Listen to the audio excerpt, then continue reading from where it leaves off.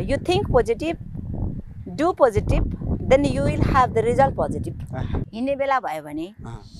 यसरी। तर मैले मैले त्यति धेरै गर्दैन। लजाएर क्यामेरा अ, बाह्र तेह्र महिनाको बच्चालाई चाहिँ फ्याँकेर मैले चाहिँ चुनामा जाँदाखेरि दुध गानिएर भनौँ न। होइन? त्यो आ अनि जसको बच्चा रुँदाखेरि पनि मेरो बच्चा रोयो जस्तै झसङ झसङ हुने। त्यस पछाडि त्यो दुध दोहेर चाहिँ के भने ग्लासमा भरेर चाहिँ एउटा चाहिँ के भने चैत वैशाखको दिनमा धप धपी बलेको धुपमा चाहिँ माटोमा चाहिँ छ्वाइँ यसरी चाहिँ दुध पोख्दाखेरि त्यो आमाको हृदय कस्तो हुन्छ? कुनै गल्ती काम गरेर ठगेर वा केही गरेर राज्यको दुई पैसा खानु नपरोस्। दाल भात खान पुगेकै छ होइन? मेरो छ दिनको सुत्केरी थिएँ म। उहाँले छेउमा बसेर पढेर मलाई सुनाउने म सुनेको सुनेकै गर्ने। तर सात दिनको दिन गएर हामीले जाँच दिउँ दुवैजनाले। अहँ। दुवैजनाले जाँच दिँदाखेरि सातवटा विषयमा म पुरै पास भएछु। उहाँलाई एउटै विषय लागेछ। उहाँ चाहिँ किनभने उहाँको दिमाग मेरो टेक केयरमा थियो नि त। त्यो आदरार्थी शब्दको पछाडि। हालसालै कुनै एउटा मन्त्रीले बोले जस्तो शब्दहरू आउँदैन। आउँदै आउँदैन त्यो आदरार्थी शब्दको पछाडि त्यस्तो शब्द आउँदै आउँदैन तर तपाईँले तँ भन्नुहोस् त। तँको पछाडि त्यस्ता धेरै शब्द जोड्न सकिन्छ। मैले कुनै कमजोरी गरेको छ भने पनि। उहाँले भन्दाखेरि हजुरले किन यो कमजोरी यो के भयो? हजुरले के गरे? भने हजुर यस्तो यस्तो हो। अब हजुर के हजुर अब कसरी बाँध्ने? कुरै आउँदैन। आदरणीय दर्शकवृन्द नमस्कार। कार्यक्रम कपाल टकमा यहाँहरू सम्पूर्णमा स्वागत गर्छु। म कार्यक्रम प्रस्तुता मनोज नेउपाने दर्शकवृन्द आजको कपाल टकमा मसँग हुनुहुन्छ राजनीतिक पृष्ठभूमि बोकेको कपाल छ। एकजना हुनुहुन्छ प्रतिनिधि सभा सांसद शेरबहादुर तामाङ र प्रदेश एककी प्रदेश सांसद उषा कला राई। आज हामी विशेष गरेर उहाँहरूको राजनीतिक पृष्ठभूमि सँगसँगै उहाँहरूको प्रेमिल जीवनका बारेमा कुराकानी गर्नेछौँ। राजनीतिक पृष्ठभूमि बोकेर नेकपा एमालेबाट राजनीति गर्दै आउनुभएका यो जोडीको जीवन कथा कस्तो छ? राजनीतिक यात्रा कस्तो छ? जीवन सहयात्रा कस्तो छ? आउनुहोस्। अब उहाँहरूको यो संवादबाट नै हामी थाहा पाऊँ यहाँहरू दुवैजनालाई हाम्रो कार्यक्रममा स्वागत छ। नमस्ते। कसरी चलिराखेको छ जीवन? ठिकै छ राम्रै चलिरहेको छ ठिकै छ। राजनीतिमा एकदमै उथल पुथल आइरहन्छ। जीवनमा कस्तो हुन्छ? पारिवारिक जीवन होइन हाम्रो चाहिँ अब राजनीतिक जीवनमा चाहिँ अलिक उथल पुथल देशकै चाहिँ राजनीतिक जीवन सामाजिक जीवनमा पनि उथल पुथल लागेको छ। तर हाम्रो जीवनमा चाहिँ उथल पुथल कहिले पनि भएको छैन खुसीको कुरा चाहिँ यही नै छ। र सबैभन्दा ठुलो कुरा चाहिँ मैले उहाँ जस्तो जीवनसाथी पाउनु उहाँ जस्तो मेरो श्रीमान पाउनु मेरो भाग्य हो भन्ने लाग्छ। भाग्यमा कम्युनिस्टहरूले विश्वास त गर्दैनन् भन्छन्। तर म त अब विश्वास गर्छु होइन? यसरी चाहिँ एउटा जोजन भनौँ संयोग भनौँ मेरो भाग्य भनौँ शब्द केमा प्रस्तुत गर्ने थाहा छैन। तर उहाँ जस्तो श्रीमान पाउनु चाहिँ मेरो लागि चाहिँ निकै ठुलो भाग्य नै बन्यो भन्ने मलाई लाग्छ। किनभनेदेखि अब म चाहिँ समाज रूपान्तरण चाहन्थेँ। होइन? समाजमा के भने यति समाजलाई अप्ठ्यारो परिवारलाई अप्ठ्यारो यस्तो नराम्रो सोच्नुपर्ने काम के छ र? सरल छ जीवन। सबै हामी समान हो। मान्छेको जीवन सबैको बराबरी हो। कसैको हैसियत र ठुलो कसैको सानो हुँदैन। लैङ्गिक हिसाबले झन् साह्रो त्यो कुरो गर्ने हुँदैन। छोरा र छोरी समान हो। छोरा र बुहारी जसरी हामी माया गर्छौँ छोरी र ज्वाइँलाई पनि त्यतिकै माया गर्छौँ। बाबुलाई जति माया गर्छौँ आमालाई पनि त्यतिकै माया गर्छौँ। अझ आमालाई बढी माया गर्छौँ। भनेपछि यो कुराहरू चाहिँ के भने एउटा समानतासँग गाँसिएको। त्यसैले संसार कसरी धानिएको छ त? प्रेमले मायाले अलिकति होइन? हामी मात्रमा होइन होइन? म चाहिँ भन्छु पहिचान पनि मान्छेले त्यसरी के भने मान्छेलाई मायाले मात्रै पुग्दैन सम्मान पनि चाहिन्छ। र उहाँले मलाई माया मात्रै गर्नुहुन्न सम्मान पनि दिन सक्ने मेरो श्रीमान र मलाई बुझ्न सक्ने मैले श्रीमान पाउनु चाहिँ। ठुलो कुरा हो भन्ने लाग्छ। अलिकति सुरुमै प्रसङ्ग अलि लामो भयो तपाईँ भन्नुहोस् न कसरी चलिरहेको छ जीवन प्रेम जीवन कसरी चलिरहेको छ? राजनीतिक राजनीतिलाई एकातिर राखेर पारिवारिक जीवन कसरी चलिरहेको छ? मुख्य चाहिँ उहाँले भनि नै हाल्नुभयो कि हाम्रो भेटघाट त राजनीतिक जीवनकै क्रममा नै भेट भएको हामी राजनीतिक कार्यकर्ताकै रूपमा थियौँ र राजनीतिक कामकै सन्दर्भमा हाम्रो भेटघाट पनि भयो। र धेरै लामो समय हामी एकअर्कालाई बुझ्ने क्रममै रह्यौँ। र हामी जतिको मान्छेहरू समाजको परिवर्तनको लागि लाग्छु भन्ने मान्छेहरू कमसेकम आफ्नो जीवन चाहिँ के हो त भन्ने कुराको बारेमा डिसिजन आफै गर्न सक्ने ठाउँमा उभिनु पर्दछ। र हामी चाहिँ सँगै बस्न सक्छौँ भन्ने कुराको एउटा निष्कर्ष निक्लिसके पछाडि। अब हामीले अब एउटा डिसिजन गऱ्यौँ। र एउटा रोचक पक्ष के छ भने अहिलेसम्म पनि म चाहिँ कसैको बिहेको कार्ड आउँदाखेरि हाम्रो जस्तो कार्ड आउँछ कि भनेर अपेक्षा गर्छु। हामीले अन्ठाउन्न साल तपाईँको चाहिँ फागुन तेइस गते हाम्रो विवाह भएको हो। र हामीले कार्डमा के लेख्यौँ भन्दा हामी दुई। फलानु फलानुको छोरी फलानु फलानु फलानुको छोरा फलानु हामी विवाह बन्धनमा बाँधिने निष्कर्षमा पुगेको कारणले। अब हामीलाई शुभकामना दिन चाहनुहुने अब मित्रहरू आउनु होला भनेर प्रार्थी नै हामी भएर अँ, दर्शनाभिलाषी चाहिँ हाम्रो बाबुआमा भएर हामीले चाहिँ कार्ड बनाएका थियौँ। अहिलेसम्म पनि योग्यता पुगिसकेको आफैले पहिला केटाकेटीहरू आफै प्रेम गर्छन् आफै केटा वा केटी रोजिन्छ। तर भरे सु विवाहको कार्ड लेख्ने बेलामा चाहिँ बाबुआमाले गराइदिएको रूपमा लेख्छन् क्या हाम्रा चाहिँ सन्तान होइन? छोरी फलानु छोरा फलानु विवाह बन्धनमा बाँधिने भएको हुनाले होइन? शुभकामना दिन पाल्नु होला भनेर बाबुआमा चाहिँ भएर बाबुआमाले किनभने अहिलेको नयाँ जेनेरेसन त कमसेकम आफै आफ्नो जीवनसाथी रोज्ने ठाउँ पुग्यो नि। कुनै बेला त हो। श्रीमानले श्रीमतीको अनुहार कस्तो छ भन्ने समेत नदेख्नु हाम्रो बाबुआमाको बेला। त्यस्तो बेला पनि त थियो नि होइन? तर हामी चाहिँ सुझबुझपूर्ण तरिकाले आफैले आफ्नो डिसिजन गरेर त्यो त्यो ढङ्गले हामीले विवाह सम्पन्न अब त्यसपछि चाहिँ हो मैले भने त्यसपछि अब अन्ठाउन्न फागुन तेइसभन्दा यता अब धेरै वर्षहरू बिते। अब दुईजना सन्तान छन् होइन? अब छोराहरू दुईवटा छन् अनि हामीले तपाईँको चाहिँ त्यति बेला अन्ठाउन्न सालमा भने चाहिँ नेपालमा नयाँ कानुन संविधान बनाइसकेका थिएन। हामीले बैसठी त्रिसठीको आन्दोलनपछि मात्रै गणतन्त्र लिएर आयौँ त्यसपछि नयाँ संविधान हामीले बहत्तरमा जारी गऱ्यौँ। र बाइदवे त्यो संविधान लेख्ने बेलामा चौहत्तर चौसठी सालको संविधान सभाको सदस्य उहाँ हुनुहुन्थ्यो होइन? अनि पछि तपाईँको सत्तरी सालमा म थिएँ। र त्यति बेला उहाँ चाहिँ संविधान चाहिँ को जुन बनाउने बेलामा हामीले पहिला नै हामी बिचमा चाहिँ के सहमति थियो भन्दा सन्तान त जन्मिन्छ। म तामाङ उहाँ राई होइन? अनि यो सन्तान चाहिँ को थर के होला? अब हाम्रो चाहिँ पितृसत्तात्मक समाज छ। आमाको थर मेटिदिने। बाउको थर राख्ने। यही चलन छ नि त हाम्रो। अहिले पनि त्यही चलन छ। होइन? भने यसमा चाहिँ आमाको वंश चाहिन्छ। आमाको वंश पनि त्यहाँ मेट्नु हुँदैन। किनभने सन्तान भने त जेनेटिकल्ली तपाईँको साइन्टिफिकल्ली त फिफ्टी फिफ्टी पर्सेन्ट होइन? तपाईँको चाहिँ तेइस जोडी क्रोमोजोम चाहिँ श्रीमतीको तेइस जोडी क्रोमोजोम चाहिँ श्रीमानको। अँ, यो दुइटा मिलेर चाहिँ तपाईँको चाहिँ होइन? हामी चाहिँ तपाईँको चाहिँ सन्तान चाहिँ निस्किने हो। त्यसो भएको हुनाले तपाईँको चाहिँ त्यो त फिफ्टी फिफ्टी पर्सेन्ट रहेछ। अनि हामीमा त्यति बेलै हामीमा के चेत थियो भन्दा हामीले हाम्रो सन्तान चाहिँ दुइटैको पहिचानमा राखौँ है भनेर। छोराको नाम के राख्नु? अ, हामीले नाम त अब इन जेनरल नामै राखिन्छ। तर थरमा गएपछि हामीले चाहिँ चेन्ज गऱ्यौँ। हामीले छोराहरूको थर चाहिँ तामाङ र राईको जोडेर तारा भन्ने थर राख्यौँ। र त्यति बेला हामीले तारा राखिराख्दाखेरि धेरै साथीहरूले अब यो हाम्रो कानुनले त मिल्दैन। भन्ने कुरा पनि गर्यो अँ, होइन? अनि किन मिल्दैन लडौँला त्यति बेला भन्दै गयौँ। त्यस पछाडि बैसठी त्रिसठीको आन्दोलन भयो चौसठी सालको संविधान सभा चुनाव भयो उहाँ त्यसको चाहिँ सदस्य हुनुभयो होइन? अनि त्यति बेला उहाँ चाहिँ तपाईँको लैङ्गिक चाहिँ एउटा समिति बनेर त्यसको अगुवाई उहाँले गर्नुभयो र संविधानभित्र तपाईँको चाहिँ महिलाको वंशको अधिकार सुनिश्चित गर्नुपर्छ भनेर लेख्ने कुराको अगुवाई गर्नुभयो। लेखेरै छाड्नुभयो। होइन? अब समस्या छैन। तपाईँ चाहिँ अब संविधानले कानुनले चाहिँ तपाईँको चाहिँ कुनै पनि थर राख्न पाउने उसको चाहिँ राइट्सले सुनिश्चित गरिदिएको छ। त्यसो भएको हुनाले हामी त त्यो कुरामा डिटरमाइन भएर अगाडि बढेका मान्छेहरू। त्यसपछि अब चौसठी सालको संविधानले संविधान यद्यपि अब क्लियर गर्न सकेन। सत्तरीमा म आएँ। त्यसपछि म चाहिँ त मस्यौदा समितिको सदस्य थिएँ।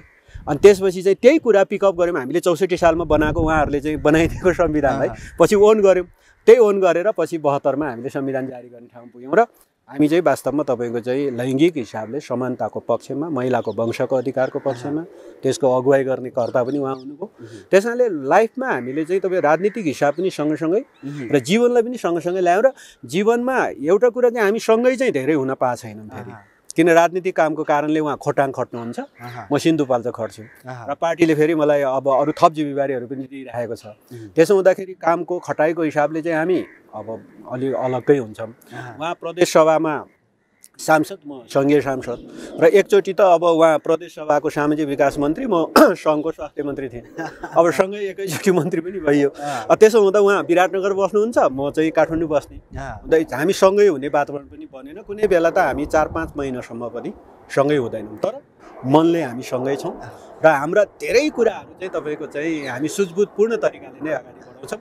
अहिलेसम्म मलाई लाग्दैन कि हामी बिचमा खटपट हुन्छ नि लाइफमा चाहिँ त्यस्तो छैन। दुई हजार अन्ठाउन्नभन्दा अगाडि जाउँ न त एकचोटि। जस्तो तपाईँहरूको एउटा चाहिँ सिन्धुपाल्चोकको तामाङको छोरा र खोटाङको चाहिँ राईको छोरी बिचमा भेट कसरी भएको थियो अथवा सम्बन्ध कसरी सुरु भएको थियो? होइन सम्बन्ध त उहाँले भनिसक्नुभयो। हाम्रो राजनीतिक जीवनमा राजनीतिक जिम्मेवारीमा रहँदा काम गर्ने सन्दर्भमै भेट भएको हो प्रजातान्त्रिक राष्ट्रिय युवा सङ्घ नेपाल कम्युनिस्ट पार्टी एमालेको एउटा भातृ सङ्गठनको रूपमा रहेको एउटा सशक्त युवा सङ्गठन हो। त्यो सङ्गठनको चाहिँ उहाँ चाहिँ अब केन्द्रीय महासचिव हुनुहुँदाखेरि चाहिँ म केन्द्रीय सदस्य भएको हैसियतमा त्यतिखेर अब राजनीति जीवनमा अब विद्यार्थी जीवनमा बाटै म पनि अगाडि बढेको हो. होइन? उहाँको नाम धेरै सुनेको थिएँ तर चाहिँ किन यसरी भेट हुन्छ भनेर त लेखेको यस्तो छ भनेर थाहा थिएन। अब युवा सङ्घमा म काम गर्ने आउने सन्दर्भमा उहाँ मेरो चाहिँ नेता हो। र खास गरिकन त्योभन्दा अगाडि म यहाँबाट एमएससी गरिसके पछाडि पिएचडी गर्न नेदरल्यान्डबाट फर्किएर आएको थिएँ। र नेदरल्यान्डबाट फर्केर आइसके पछाडि चाहिँ कहाँ काम गर्ने भन्ने सन्दर्भमा पार्टीमा युवा सङ्घमा गर्ने भन्ने भयो। अब त्यहाँ आउँदाखेरि म आफ्नै प्रकारको मान्छे एउटा छोरी छोरी भएकै कारणले गर्दाखेरि छोरा ल्याउनु पर्छ। ए, छोरा जन्माउनको लागि चाहिँ के भनेदेखि बाउले बिहा गर्नुपर्छ। मेरो बुवालाई बिहा गरिदिनको लागि ठुल्ठुलो प्रेसर हुने। अनि आमाले सानैदेखि चाहिँ के भनेदेखि त्यो खालको पीडा भोगेको मैले सानैबाट नजिकबाट हेरेको। त्यस कारणले पुरुष र महिलामा यत्रो विभेद किन? विवाह गरेर महिला अर्काको घरमै जानुपर्ने। अथवा चाहिँ के भने एउटा भनौँ न छोरा र छोरीको बिचको चाहिँ डिमार्केसन त्यो विभाजन त्यो खालको चाहिँ हेर्ने दृष्टिकोण सबभन्दा ठुलो कुरो चाहिँ उहाँले जति कुरो भन्नुभयो त्यसको मेन फेथ त्यस त्यसको मेन जड चाहिँ के हो भनेदेखि मान्छेको दृष्टिकोण हो। हामी जो समानताको लडाइँ लडिराखेका। छौँ लडिरहेका थियौँ समानताको समानताको कुरा चाहिँ व्यक्तिगत जीवनबाट सुरु हुन्छ। श्रीमान र श्रीमतीबाट सुरु हुन्छ। समानताको कुरा सदस्यहरू बिचमा घरबाट सुरु हुन्छ घरबाट प्रारम्भ हुन्छ। र त्यो घर जुन चाहिँ एउटा युनिट समाजको फर्स्ट युनिट हो पहिलो संस्था हो कि तपाईँ पुरुष र महिला दुईजना आधा आधा भएर पुरा हुनुहुन्छ। हो यो समाजको चाहिँ के भनेदेखि संस्कार संस्कृति र जीवन हो। र यो चान्चुने विषय छैन जस्तो सुनिरहनु भएको छ नि उहाँले मलाई चाहिँ के अरे यहाँ बोल्नको लागि मात्रै भने होइन। उहाँले मलाई हजुर नै भन्नुहुन्छ होइन। भन्नुहुन्छ होइन। म पनि हजुरै भन्छु है। अनि हाम्रो तपाईँ हजुरै चल्छ। तपाईँ हजुर कसैलाई त लाग्दो होला। किनभने समाजमा त्यस्तो चलनै छैन होला नि धेरै। अहिले त सुरु भयो तर पनि धेरै चलन छैन। श्रीमतीलाई चाहिँ त तिमी नै भन्ने हो श्रीमानलाई हजुर बक्सियोस् भन्ने हो होइन? तर हामी बिचमा चाहिँ त्यस्तो छैन। र बोलीको सम्बोधनदेखि लिएर व्यावहारिक कुरामा हरेक जीवनमा चाहिँ के भनेदेखि हाम्रो एकदमै रेस्पेक्टफुल एकदमै आदरणीय र चाहिँ त्यो खालको सम्मान मान सम्मान एकअर्का सम्बोधनदेखि र हृदयदेखि नै मुखले मात्र होइन। होइन? त्यो छ। र त्यो चाहिँ के अरे आफ्नो श्रीमतीलाई माया गरेर कसैले होइन काली भन्लान् कान्छी भन्लान् के के भन्लान् होइन? तर त्यो भनेर मात्रै माया हुन्छ भनेर जुन सोचाइ छ मान्छेको त्यो हुँदैन। हजुर बक्सियोस् भनेर पनि माया हुन्छ है। हाम्रो धेरै माया छ। के भन्नुहुन्छ हजुर। हामी दुईजनाको एउटा शब्द छ। दुईजनाको त्यो आफै निस्केको प्रेममा निस्केको शब्द हो। त्यो चाहिँ के भने उहाँले पनि मलाई चुचु भन्नुहुन्छ म नि उहाँलाई चुचु भन्छु। अघि बोलेको सुन्नुभयो चुचु भनेर। होइन त्यो चाहिँ कमन वर्ड छ। अनि त्यसरी बोल्छौँ बोल्ने कुरामा र व्यवहारिक कुराहरूमा नि अब मैले ठ्याक्कै सम्झाएँ तपाईँले भेट चाहिँ सम्झाउँ भन्दै क्या? कहाँ भेट भएको थियो? कुन दिन भेट चाहिँ अब युवा सङ्घमा केन्द्रीय कमिटीको सदस्य भएर काम गर्ने सन्दर्भमा त्यहाँ आउँदाखेरि मेरो नेताको रूपमा उहाँ महासचिवको रूपमा हुनुहुन्थ्यो त्यहाँ भेट भएको हो।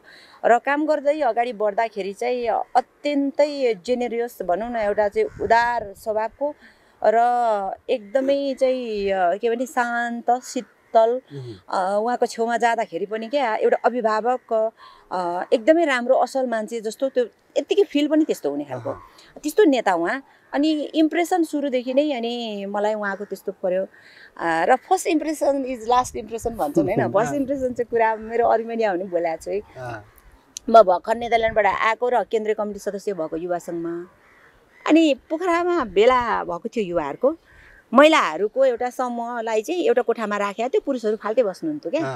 त्यहाँ चाहिँ सुन्छु पुरा केटीहरू चाहिँ केटाहरूका कुरा गरिरहेका नि। होइन? ए फलाना यस्तो फलाना यस्तो यस्तो नेताहरूको कुरा भइरहेको।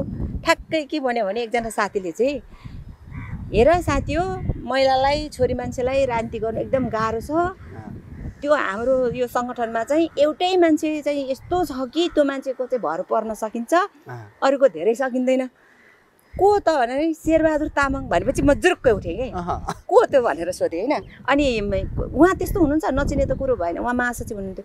अनि उहाँ चाहिँ त्यो के भने गाडीमा हिँड्दाखेरि पनि आफू चाहिँ उभिएर चाहिँ बरु पक्रिएर चाहिँ उ डन्डी पक्रिएर हिँडेर चाहिँ ल दिदीबहिनीहरू बस्नुपर्छ भन्ने कहीँ पठाउनु पऱ्यो भने पनि पुरै चाहिँ अभिभावकत्व दिएर कसरी हुन्छ? कहाँ काम गरेर पार्टीको काम गरेर सङ्गठनको काम गरेर कसरी सुरक्षित फर्किएर आउने कसरी के गर्ने भन्ने र कहिल्यै पनि चाहिँ के भनेदेखि जोक्स नगर्ने कहिल्यै पनि टिजिङ जस्तो चाहिँ के भने मान्छेलाई अलिकति टर्चर हुने काम नगर्ने कहिले पनि मान्छेलाई त्यस्तो हात लाएर कुरा नगर्ने त्यस्तो खालको स्वभावको अनि अचम्म खालको शेरबहादुर तामाङको चाहिँ ठुलै एकदमै भर पर्न सक्यो। उहाँको ठुलो बखान भइरहेको थियो।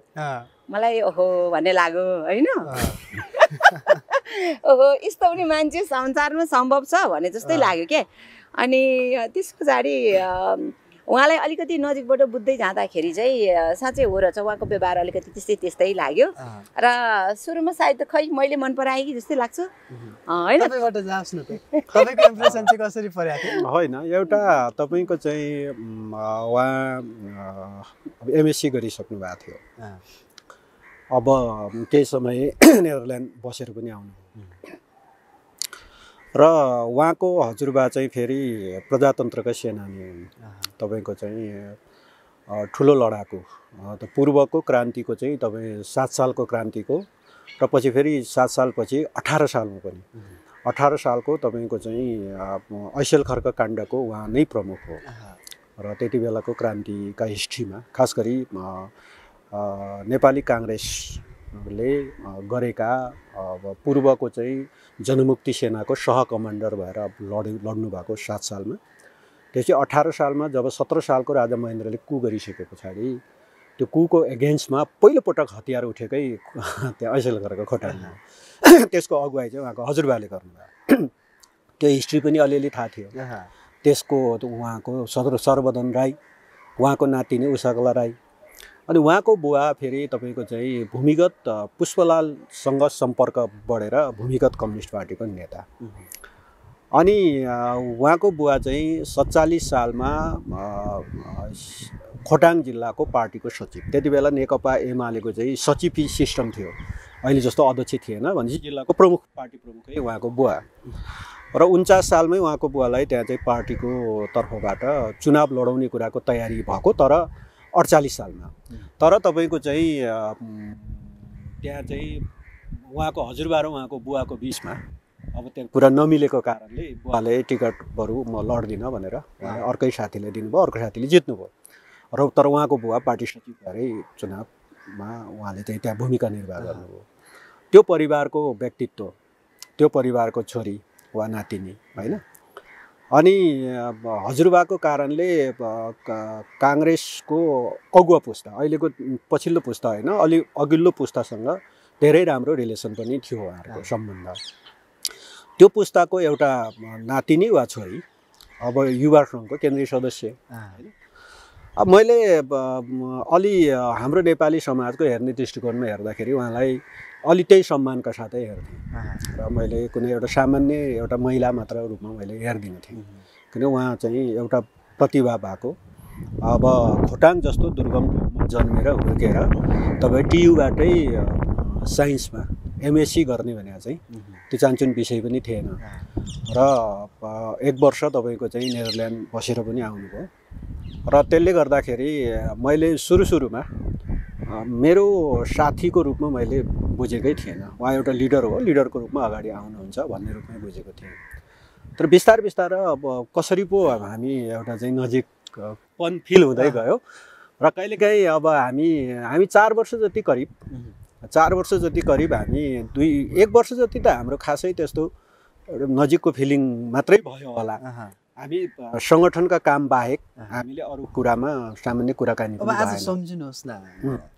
पहिलो कसले प्रपोज कसले गरेको यसमा त- यस्तो- के छ भने सामान्यतया है नेपाली समाजमा हर समाजमा पनि त्यस्तो हुन्छ है। यो फेरि एउटा मनोविज्ञानको कुरा हो। मैले सबैलाई कुरा खोल्न खोल्न चाहन्छु। होइन। सबैलाई खोल्न चाहन्छु। तपाईँको चाहिँ सामान्यतया समाजमा कस्तो हुँदो रहेछ भने इन जेनरल सबैको। महिलाले चाहिँ एउटा एस्पेक्ट गर्दो रहेछ कि पुरुषले नै पहिला प्र प्रपोज राखोस् भन्ने एउटा एक्सपेक्टेसन हुँदो रहेछ। सबैमा हुन्छ है मैले। तपाईँ मार्फत सबै खोल्न चाहन्छु किन मनोविज्ञान त्यस्तो हुन्छ। र मैले चाहिँ हामी बिहे गर्ने बेलासम्म पनि अब मैले त्यो त्यो आखिर हामी बिचको यस्तो वेभलेन्थ मिलिसकेको छ। यस्तो तपाईँको चाहिँ त्यो हुन्छ नि केमिस्ट्री मिलिसकेको छ। त्यसमा तपाईँको चाहिँ कुनै एउटा बनावटी शब्द उ गरेर होइन? म तिमीलाई प्रेम गर्छु आई लभ यु पाहाडमा गएर कराएर भित्तामा ठोकाएर मात्र त हुने चिज होइन रहेछ। त्यो त आफैमा त यस्तो यस्तो टुसाइसक्छ कि? यस्तो तपाईँको चाहिँ केमिस्ट्री मिलिसक्छ कि? त्यो एक अर्कामा तपाईँको चाहिँ को बेगर रहन अथवा तपाईँको चाहिँ अगाडि बढ्न सकिँदैन भन्ने ठाउँमा पुगिसक्दो रहेछ। त्यसै मलाई चाहिँ फिलिङ पछि के भयो भने कार्यालयमै हामी धेरै कामहरू हुन्थ्यो। अब त्यति बेला धेरै अब पार्टीका कामहरू पनि अब धेरै काम गर्नु पर्थ्यो। र उहाँ फेरि त्यति बेला पढाउँदै पनि हुनुहुन्थ्यो। त्रिचन्द्रमा चाहिँ उहाँले पढाउँदै पनि हुनुहुन्थ्यो। त्रिचन्द्र अस्कल दुइटैमा पढाउनुहुन्थ्यो। दिउँसो उहाँ त्यो क्लास लिन जानुहुन्थ्यो पढाउन। अनि त्यस पछाडि साँझ एकखेर उहाँ चाहिँ त्यो कार्यालयमा आएर सङ्गठनको कतिपय काम हुन् त बाहिर जिल्लाहरू पनि जानु पर्थ्यो। तर अब दिउँसो अलिअलि त्यहाँ चाहिँ कलेजमा पढाउँदै गर्नुहुन्थ्यो। र त्यो पढाउँदै गरे गरे पछाडि उहाँ साँझमा कार्यालयमा आइपुग्नुहुन्थ्यो म पनि कार्यालयमै हुन्थेँ। र पछि पछि चाहिँ मलाई पनि त्यो चाहिँ उहाँप्रति मन बसेछ। भन्ने कुरा आकर्षण बसेछ भन्ने कुरा चाहिँ कसरी फिल हुन थाल्यो भने उहाँ आइदेखि हुन्थ्यो कार्यालयमा आइपुगे हुन्थ्यो आए पछाडि अलि बेर बसेदेखि हुन्थ्यो। भने यस्तो खालको फिल हुन थाल्यो। त्यसले चाहिँ के देखिन्छ भने हामी बिचमा चाहिँ एक खालको सामिप्यता चाहिँ बढ्दै गएको रहेछ भन्ने चाहिँ देखियो। र मैले चाहिँ मैले भनिहालेँ शब्दले चाहिँ उच्चारण गरेर ल म तपाईँलाई माया गर्छु है भनेर भनिएन। विवाहको दिनसम्म पनि भनिएन तर अब हाम्रो चाहिँ त्यस्तो चाहिँ एउटा मायाको चाहिँ एउटा भावना त्यो एउटा माया। साटासाट गर्ने केही त माध्यम थियो होला नि त त्यतिखेर होइन? जस्तो चार वर्षसम्मको एउटा चाहिँ अफेयर भन्छ अहिले अफेयरको यो चाहिँ म त्यो तपाईँलाई बताउन चाहन्छु। छप्पन्न छप्पन्न साल। होइन हामी यद्यपि छप्पन्न पछि पनि अन्ठाउन्न मात्रै हामीले विवाह गऱ्यौँ। छप्पन्न सालमै हामी अलि नजिकै भइसकेका थियौँ। तपाईँको चाहिँ छप्पन्न सालको दसैँ दसैँको बेला थियो। र त्यो कपडा अहिले पनि छ। एउटा सर्ट चाहिँ अहिले पनि छ। उहाँ त अलि पढाउनु हुने। अलिअलि पैसा त उहाँले कमाइहाल्नुहुन्थ्यो होइन? अनि उहाँले चाहिँ त्यति बेला हामी ठ्याक्कै ठाउँ पनि थाहा छ बानेश्वरको चाहिँ त्यो बेकरी क्याफेमा हजुर। बसेर हामी खाजा खान थाल्यौँ। र तपाईँको चाहिँ त्यहाँ उहाँले मलाई त्यो एउटा सर्ट उपहार दिनुभयो। अनि त्यस पछाडि एउटा नेदरल्यान्डबाटै उहाँले ल्याउनु भएको रहेछ। एउटा छोटो खालको राम्रो कलम एउटा उहाँले दिनुभयो। र उहाँले भन्नुभयो मलाई केही कुराहरूमा उहाँले मलाई कमिटमेन्ट गराउनु भयो। र मैले त्यस पछाडि त्यो कुरा ठ्याक्कै मैले छोडिदिएँ फेरि के भन्नुभएको थियो? जस्तो- ठ्याक्कै होइन के अरे अब कस्तो भनेदेखि एक किसिमले त्यतिखेर भनौँ न त्यस्तो धेरै त्यो लभ भन्नाले बिहा गर्ने अब तयारी भन्नेसम्म चाहिँ पुग्न बाँकी थियो होइन? त्यो चाहिँ तर एउटा एकदमै असल मान्छे राम्रो मान्छे आफ्नो मान्छे भइदियो हुन्थ्यो भन्ने कता कता। कता कता लाग्दो रहेछ नि त होइन? यस्तो राम्रो मान्छे अब यस्तो लोभ लाग्दो मान्छे आफ्नो भइदियो हुन्थ्यो भन्ने लोभ मलाई पनि रहेछ नि त। एउटा किसिम लभ त लभै हो नि त होइन? आई लभ यु भन्ने शब्द त कहिले पनि प्रयोग गरिएन। तर त्यो चाहिँ लाग्दो रहेछ। अनि अत्यन्त तर मलाई लाग्छ इन जेनरल धेरै मान्छेहरूको भन्दा सोचेको भन्दा मान्छेले सोचेको भन्दा चाहिँ हाम्रो सम्बन्ध एकदमै उच्च स्तरीय बन्यो। उच्च स्तरीय सम्बन्ध भयो। र त्यो खालको माया प्रेम भयो। यति गाढा भयो यति विश्वास बढेर गयो र उहाँ अब कुनै दाग लाग्ने ठाउँै छैन कि? त्यस्तो भरपर्दो त्यस्तो राम्रो त्यस्तो असल एउटा युवा पढे लेखेको अनि मेरो जीवन चाहिँ उहाँ भयो भनेदेखि धेरै राम्रो हुन्थ्यो होला। अथवा मायामा जे कुरा पनि जायज भन्छ नि होइन? त्यो हुन्थ्यो होला भने जस्तो चाहिँ लाग्थ्यो। अनि उहाँले भन्नुभयो नि त्यो कुरा पनि म नडाँटिकन भन्छु है। होइन? उहाँले केही प्रपोज गरे हुन्थ्यो जस्तो लाग्थ्यो नगर्ने के? लभ चाहिँ गर्ने। एकदमसँगले माया गर्ने सबै थाहा छ होइन? कस्तोसम्म गर्ने भनेदेखि म यो चाहिँ अब युवा सङ्घमा आउँथेँ नि उहाँ त त्यहाँ आएको महासचिव हो जस्तो मान्छे म त केन्द्र कमिटी सदस्य अनि एउटा दायरा छ अनि रेस्ट्रिक्सन छ डर छ त्रास छ त्यो डर त्रास के को भनेदेखि आफूले आफूलाई एक किसिमको बाँधेर राख्यो कसैले राखेको त होइन नि हामीलाई तर पनि आफ्नो अनुशासनको चाहिँ एउटा दायरा छ। त्यो अनुशासन कि हामी चाहिँ वी आर द लिडर हामीले अरूलाई देखाउनु पनि पर्छ। हामीलाई देखेर धेरैले पछ्याउँछन्। हामी कस्तो व्यवहार गर्छौँ? हामीलाई रोकेर कसैले रोकिँदैन थियो। हामी जे पनि गर्- गर्दा जहाँ जाँदा होटेल होटेल कुद्दा पनि केही हुँदैन थियो होला नि। तर जीवनमा हामी होटेलमा डेटिङमा त्यसरी हिँडेनौँ। होइन? हिँडेनौँ। तर ल माया गऱ्यौँ। अनि उहाँको सबै राम्रो हुँदाहुँदै पनि अब एउटा कुरा मलाई शङ्का लागेको थियो। उहाँले चाहिँ अब चाड आइराखेको थियो। यसो अनि मैले सोधेँ। दाजुभाइहरू भएको बेला अनि तपाईँ चाहिँ यस्तो पिउनुहुन्छ कि हुँदैन यस्तो गर्नुहुन्छ भने के के कसरी मनाउनुहुन्छ दसैँ कस्तो हुन्छ हजुरहरूको भनेर यस्तो सोद्धाखेरि अनि ए म त चाहिँ मजासँगले रागो पनि चाहिँ डङ डङ ढालिदिन्छु दसैँमा। त्यस पछाडि चाहिँ अब दाजुभाइहरूसँग अलिकति रमाइलो हुन्छ चियर्स गरेर अलिअलि पिउने पनि हो।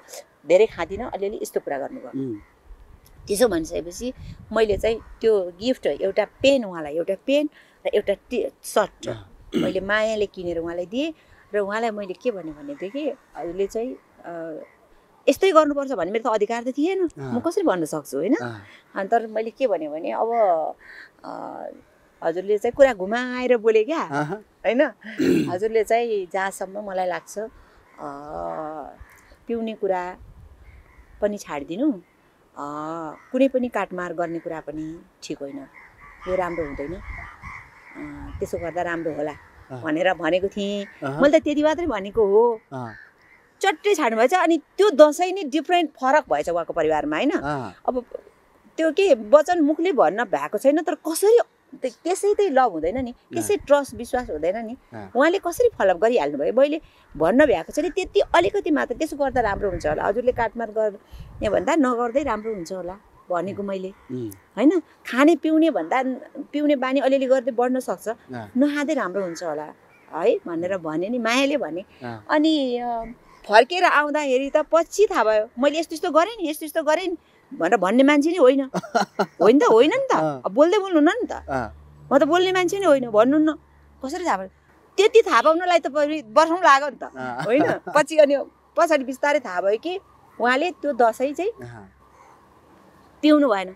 ओहो परिवारको चाहिँ उहाँ चाहिँ काहीँ लाग अनि किन नखाने तिमी भनेर भन्दाखेरि होइन मलाई खाने मन छैन के भनेर टार्नु भयो होइन म यसपालि अब मार पनि हान्दिनँ केही पनि गर्दिनँ अरू मान्छेहरू खोज्नु काट्ने ओर्ने कुरामा पनि लगाउनु भन्नुभयो के भन्नुको अरूहरूले गरे। भनेपछि दुईवटा कुरा त्यही वर्षबाट छाड्नु भयो भनेपछि तपाईँहरूको प्रेम खास अ, अङ्कुराएर फक्रिएको चाहिँ दुई पात होइन दुई पात भएको चाहिँ बानेश्वरको चाहिँ बेकरीबाट सुरु भयो। त्योभन्दा अगाडि नै हामी बिचमा एक खालको सामिप्यता त सामिप्यता। त भइ नै सकेको रहेछ। त्यसले गर्दाखेरि अलिकति कस्तो भने अ, तपाईँको चाहिँ हो म पहिला अलिअलि अब काटमार गर्थेँ। तपाईँको दसैँमा अथवा म टोलभरिको खसी काट्दै हिँड्थेँ किनभने अरू काट्ने मान्छे कोही हुँदैन थियो।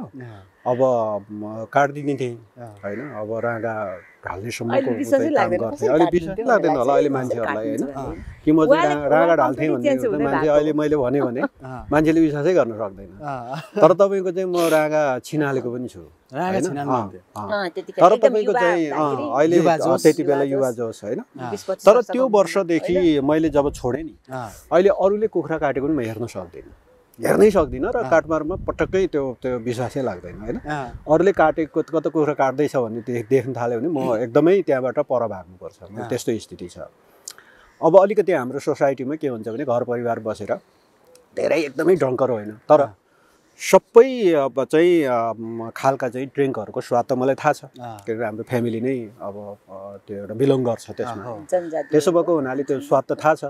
त्यसो भएको हुनाले कमसेकम कहिलेकाहीँ अब परिवार सबै बसेर चाडबाडको बेला बस्दाखेरि अलिकति आदि भनौँ न बियर भयो भने आधी गिलास होइन। तपाईँको चाहिँ अरू कुनै हार्ड ड्रिङ्क भयो भने मलाई फेरि एक प्याक पनि चल्दैन थियो। यसो मुख लगाएर अरूसँग साथी चाहिँ गरिदिने।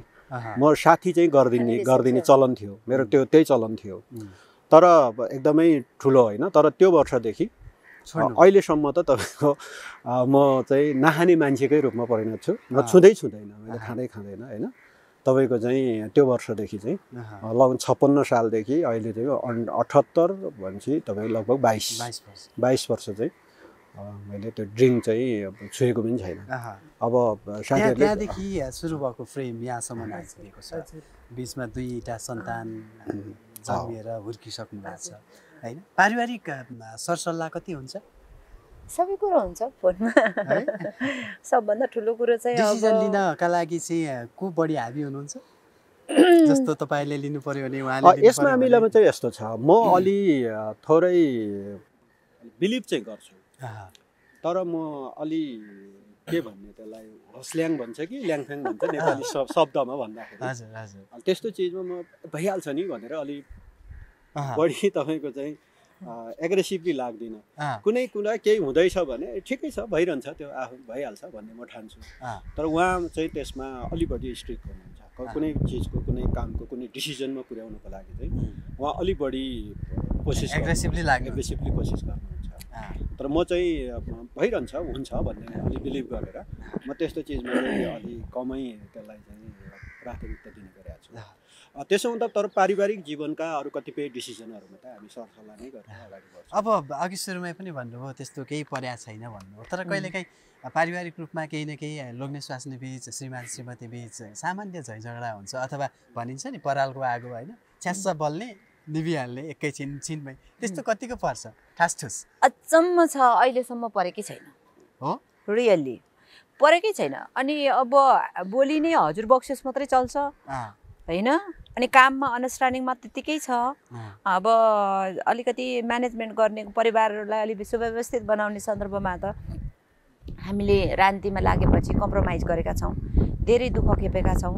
म झोला बोकेर गाउँ गाउँमा जनताको घर घरमा हिँडिरहेको हुन्छु। म कसरी दुःख गरिरहेको छु भनेर संसारले नबुझे पनि मेरो मान्छेले मलाई बुझ्नुहुन्छ। त्यो नै सबभन्दा ठुलो कुरा हो। म यो अवस्थामा आउनको लागि छाती खुल्ला बनाएर मैले भन्नुपर्छ। देखा अब च्यातेर देखाउन सकिँदैन होइन? तर म चाहिँ उच्च प्रशंसा गर्छु। मेरो श्रीमानको हात छ। पहिले मेरो बाबुआमाको हात हो। किनभने छोरा र छोरीमा विभेद गर्नु हुँदैन भनेर यहाँसम्म पढाउनलाई अगाडि बढाउनलाई जिन्दगी बुवा आमाले पुरै समर्पण गर्नुभयो आमा बितिसक्नुभयो। मेरो-। मेरो आमा बित्नु हुँदाखेरि मैले चाहिँ कपाल काटेर केस मण्डन गरेर आमाको क्रियापुत्री बसेर गरेँ मिडियाहरूले पनि छापे देख्नुभयो होला होइन? म चाहिँ के भनेदेखि परिवर्तन सम्भव छ आफैबाट सुरु गर्नुपर्छ। र समानता भन्नेको कुरा चाहिँ आफ्नो जीवनबाट लागू गरेर देखाउनुपर्छ। कसैलाई होचो सानो भनेर कसैलाई हेप्नु हुँदैन। कसैलाई महिला चाहिँ दलित भनेर हेप्नु हुँदैन। भनेर भाषणमा मात्रै होइन यो चाहिँ के भने काममा हामीले व्यवहारमा लागू गर्नुपर्छ र परिश्रम गर्नुपर्छ दुःख गर्नुपर्छ तर जतिसुकै दुःख जस्तो दुःख भन्ने कुरा चाहिँ केलाई दुःख भन्ने होइन? तपाईँले फिजिकल्ली काम गरिराख्नु भएको छ भने त्यसले पनि आफूलाई हेल्थमा राम्रो सहयोग गरिरहेको हुन्छ। म जहाँ जाँदा पनि काम गर्न रुचाउँछु। काठमाडौँमा आउँदा पनि म त्यतिकै गर्छु होइन? खोटाङमा घरमा जाँदा पनि त्यतिकै गर्छु। चाहिँ विराटनगर अब इटरी अहिले चाहिँ। प्रदेश सभाको बैठकहरू हुँदा काम पार्टीको बैठक हुँदा जानुपर्ने हुन्छ अ, र हर क्षण चाहिँ म चाहिँ के एउटा कुरो चाहिँ म चाहिँ अ, एउटा भिन्न दृष्टिकोण राख्छु भनेदेखि चाहिँ के भने यति राम्रो जिन्दगी होइन. तपाईँ हामीले पाएको छौँ होइन र खुसी हुनको लागि सुख लिनको लागि तपाईँको अनुभूति हो। त्यो अनुभूति चाहिँ अनुभव तपाईँले गर्ने चाहिँ के भने प्रयत्न तपाईँको हातमा छ तपाईँले गर्नुपर्छ। किनभनेदेखि सूर्य घामको ताप लिनको लागि चाहिँ तपाईँले पैसा तिर्नु पर्दैन। यो राम्रो यस्तो राम्रो वातावरणमा अहिले तपाईँ हामी छौँ होइन कुरा। गर्दैछौँ। यो अक्सिजन लिनको लागि मैले पैसा तिर्नु पर्दैन। होइन? तपाईँले मलाई हेर्न मैले तपाईँलाई हेर्न यति राम्रो मेरो भाइ कस्तो राम्रो भन्नु। मलाई कसले छेक्छ? कसैले पनि छेक्दैन। त्यसैले माया संसारमा बाँड्नुहोस् तपाईँ। सुख खुसी आफू पनि हुनुहोस् र अरूलाई पनि दिनुहोस्। है? ह्याप्पी ह्याप्पीले काम गर्नुहोस्। जुनसुकै कठिन काम पनि तपाईँ पार लाउन सक्नुहुन्छ। ह्याप्पीली गर्नुपर्छ। यो कुरो चाहिँ के भने हामीले परिवार रूपमा लागू गरेका छौँ। उहाँ के भने एकदमै पिसफुल साइलेन्ट मान्छे हो। अनि अत्यन्तै सकारात्मक अत्यन्तै पोजिटिभ मान्छे हो। हरेक मान्छेलाई उहाँले कसैलाई केही नराम्रो देख्नु हुँदैन। र उहाँले यो सुन्दर भविष्य सुन्दर चाहिँ के भने नेपाल बनाउने यसरी चाहिँ हो भने समृद्धिको कुरा ल्याउने कुरा आ, को गुरु पनि उहाँ नै हो। मैले उहाँबाट धेरै सिकेको छु। हो? अँ। र यी धेरै चिजहरू हामी सँगसँगै धेरै कुरो बढायौँ। हेर्नुहोस् म एमएससी गरेर आएको मान्छे उहाँ एमए चाहिँ उसमा गर्नुभएको पहिले इतिहासमा हो। सँगै पढ्यौँ। होइन। मैले मेरो बाबु प्रेग्नेन्ट भएको बेलामा उपलब्धि मैले दुइटा लिएँ। फर्स्ट बाबु हुँदाखेरि मैले एमए सोसियोलोजी एन्थ्रोपोलोजीमा फर्स्ट पहिलो गरेँ। दुईजनाले नै सँगै गऱ्यौँ दोस्रो हुँदाखेरि म हामीले एलएलबी पनि गऱ्यौँ र कानुनको अधिवक्ता पनि भयौँ। त्यसले गर्दाखेरि चाहिँ कस्तो भनेदेखि अब म त चाहिँ मेरो छ दिनको सुत्केरी थिएँ म। उहाँले छेउमा बसेर पढेर मलाई सुनाउने म सुनेको सुनेकै गर्ने। तर सात दिनको दिन गएर हामीले जाँच दिउँ दुवैजनाले। दुवैजनाले जाँच दिँदाखेरि सातवटा विषयमा म पुरै पास भएछु। उहाँलाई एउटै विषय लागेछ। उहाँ चाहिँ किनभने उहाँको दिमाग मेरो टेक केयरमा थियो नि त। उहाँको सबै काम त मेरो टेक केयरमा थियो। म त सुत्केरी थिएँ। तर सुत्केरी सात दिनको सुत्केरीलाई लगेर चाहिँ के भने बाइकमा लिएर गएर दुवैजनाले जाँच दिन बसेका छौँ। त्यसले गर्दाखेरि हरदम हर पाइला हर क्षण सुख दुःख के हो? कसरी जीवनले हर क्षण चाहिँ हामी सुखी कसरी बन्ने? कसरी सु उ गर्ने? भन्ने कुरा होइन। त्यो कुरालाई कसरी म्यानेज गर्ने? भन्ने कुरामा चाहिँ के भनेदेखि हामी पनि यस्तै हो जीवन सङ्घर्ष हो। सङ्घर्ष हो जीवन होइन। त्यो रूपमा यसमा मैले अलिकति थप ओके। पारिवारिक रूपमा यो तपाईँले भने ठुसा। नपर्नको लागि। एउटा सूत्र छ म सबैलाई बताउनु आहा, सबैलाई। सबै परिवारले तपाईँ मार्फत यो यो समाज पछिल्लो समय मैले तपाईँलाई त्योभन्दा अगाडि थपेँ। पछिल्लो समय चाहिँ पारिवारिक रूपमा हेर्ने हो भने पनि अलिकति पारिवारिक बेमेलको अवस्था सृजना हुने परिस्थिति अलिकति होइन। नेगेटिभ नेगेटिभतिर हो। गइराखेको छ। डिभोर्सका केसहरू होइन सम्बन्ध विच्छेदका कुराहरू बिहे भएको चाहिँ छ महिना एक वर्षभित्रमै सम्बन्ध विच्छेद भएका अवस्थाहरू पनि छन्। य- यस सन्दर्भमा पनि तपाईँहरूको यो प्रेमिल जोडीको यो उदाहरणले पनि महत्त्वपूर्ण भूमिका खेल्छ होला। यसमा चाहिँ म थप्न चाहन्छु खास गरी तपाईँको चाहिँ एउटा सूत्र छ। सिम्पल सूत्र कुनै धेरै ठुलो सूत्र होइन। सिम्पल सूत्र। जस्तो मैले उहाँलाई आदर गर्छु उहाँले मलाई आदर मैले तपाईँ हजुरै भन्छु। उहाँले मलाई तपाईँ हजुर गर्छ त्यो आदरार्थी शब्दको पछाडि हालसालै कुनै एउटा मन्त्रीले बोले जस्तो शब्दहरू आउँदैन। त्यो आदरार्थी शब्दको पछाडि त्यस्तो शब्द आउँदै आउँदैन। तर तपाईँले तँ भन्नुहोस् त। तँको पछाडि त्यस्ता धेरै शब्द जोड्न सकिन्छ। उहाँले मलाई तँ सम्बोधनले भने पनि तँ- गर्दो तँ- रहेछ। मैले त उहाँ- अँ। उहाँ- उहाँलाई तँ सम्बोधनको भन्ने हो भने भूमिका निकै अँ। ठुलो यसभन्दा हुन्छ पछाडि धेरै कुरा आउँछ। तर मैले आदर गरेँ उहाँलाई। तपाईँ भन्ने गऱ्यौँ। अँ, तपाईँ पछाडि तपाईँले त्यस्तो शब्द प्रयोग गर्न सक्नुहुन्छ। हजुर भनिरहेछ त्यसको पछाडि अरू शब्द जोड्न सक्छौँ र त्यसैले आदरार्थी शब्द प्रयोग गरौँ। श्रीमानले श्रीमतीलाई श्रीमतीले। श्रीमान यति हो। यसले सम्बन्धलाई। मजबुत अब बनाउँछ। कस्तो हुँदो रहेछ भने नि। जस्तो नि अब हजुर बक्सिस हजुर मात्रै चल्छ नि हाम्रो होइन?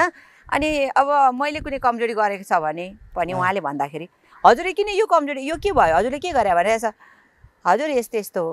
अब हजुर के हजुर लाछ अब कसरी बाँध्ने बाँध्ने कुरै आउँदैन अनि उहाँले के हजुरको यो बानी भएन है हजुर भनेर भन्यो भने के गर्नु त हजुर ए हजुर हजुर भएपछि त्यो चाहिँ अर्को शब्दै आउँदैन रहेछ निकै काम गर्दो रहेछ है आधारार्थी शब्दले फ्यामिली जस्तो सबै फ्यामिलीले तर एउटा खुसीको कुरा चाहिँ हामीले जब हामी आधारार्थी शब्द प्रयोग गर्ने कुरा अब जब थाहा पाए खुसीको कुरा। अहिले धेरै नेताहरूको परिवारमा सुरु भएको छ। ए, धेरै नेताहरूको परिवारमा खुसी लाग्छ। वास्तवमा किन हामीले त्यो प्रयोग गऱ्यौँ? र अहिले धेरै नेताहरूको परिवारमा चाहिँ। किनभने फ्यामिलीमा टसल छ भने बाहिर जतिसुकै क्रान्तिको कुरा गर न। घरमा आएर तपाईँको चाहिँ आफ्नो श्रीमती आफ्नो छोराछोरीलाई होइन?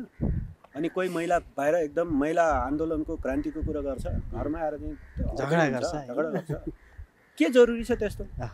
घरमा सबभन्दा पहिला तपाईँले आधार प्रयोग। इन्भाइरोमेन्ट घर त आफ्नो घर हो नि।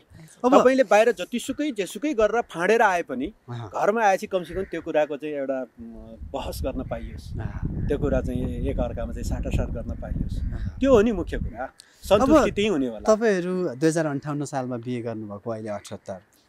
बिसौँ वर्षको यो वर्षगाँठमा हुनुहुन्छ होइन। फागुन तेइस। तपाईँहरूको विवाह बिस दिन जस्तो पनि लाग्दैन हौ।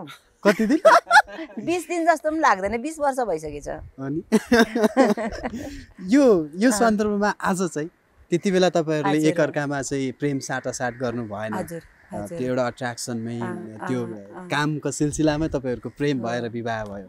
आज जो दर्शकले हेर्नुहुन्छ तपाईँहरूको प्रेमिल जोडी आफूले एकअर्काले प्रेम दर्शाउँदा कसरी दर्शाउनुहुन्छ? हेरौँ न। यो त अप्ठ्यारो विषय पर्यो हजुर। लु त। होइन यस तपाईँको चाहिँ हामी हाम्रो भावनात्मक रूपमा हामी एउटै छौँ। त्यसो हुँदा दर्शाउँदाखेरि फेरि त्यही भने आफ्नो केही दिएर। केही भनेर कुरा ठुलो लाउड स्पिकरमा चाहिँ सुनाएर मात्र। हुने चिज होइन रहेछ। त्यसैले एउटा आत्मीयता साटासाट त गरौँ न हामी नै छौँ होइन? आत्मीयता पूर्वक नै बसिरहेका छौँ। फेरि एउटा यो उदाहरण म पनि चाहिँ हुन्छ। अहिले चाहिँ कतिबाट बाहिरबाट आएँ भने हिँड्ने बेला भयो भने तर मैले मैले त्यति धेरै गर्दैन।